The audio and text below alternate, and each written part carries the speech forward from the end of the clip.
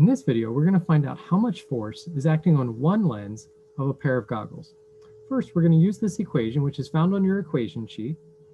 And for this chapter, it's really important that you get familiar with all the different uh, things that are on your equation sheet, both the equations as well as some of the constants and the um, different densities and pressures for things that are listed there.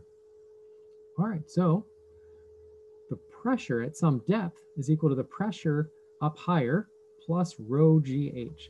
So we want to find the pressure down here, and we know the pressure up there.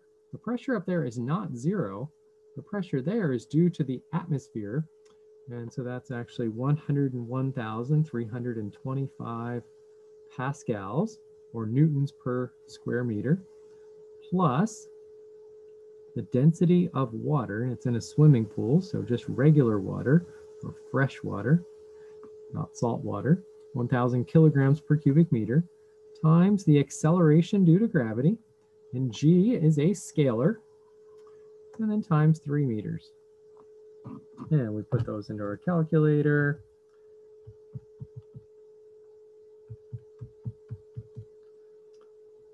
And we get a pressure of 130,725 pascals.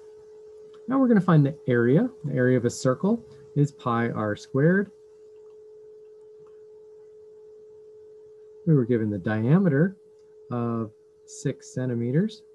And so that means the radius is three centimeters or 0.03 meters because we can multiply by one meter over 100 centimeters to be able to get the radius in meters. So this is simple enough. Pi times 0.03 meters. And we square that. Both the unit and the number are squared. So pi times 0.03 squared. And that comes out to 0 0.0028. Uh, let's just keep an extra digit there. 2827 square meters. Pi does not have any units. It says units of meters, but then it's squared. So the pressure is equal to force times area. If we multiply, I'm sorry, pressure is equal to force divided by area.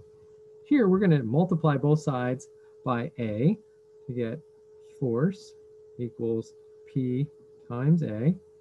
So the force is equal to 130,725 pascals which is the same as a Newton per meter squared.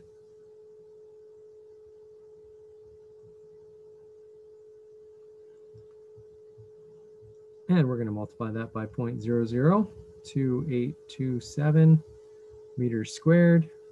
Meters squared cancels. And